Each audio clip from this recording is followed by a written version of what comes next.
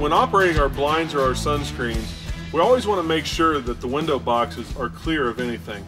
So if we've stored anything in those, before lowering those, we want to make sure that we remove those items from there.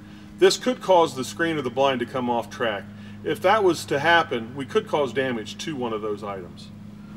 So all we need to do to operate to bring all of our screens down is hit the sunscreens all, go into the down position, and every screen in this unit is going to come down. I can do the same thing with our nightshades.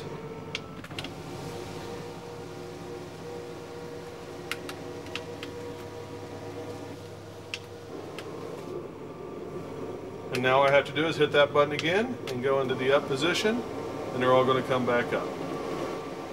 I can also individually control the blinds and the sun sunscreens by just hitting the appropriate button and going up or down.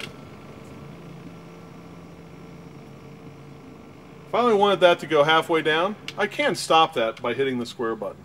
With the Airstream Interstate, you have an optional rear screen. With that rear screen comes a remote, a small remote.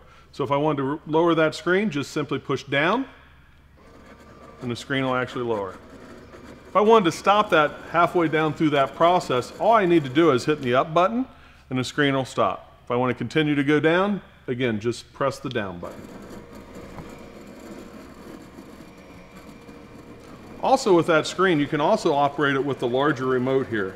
All we have to do is hit the rear screen button as we show here, It'll highlight in red.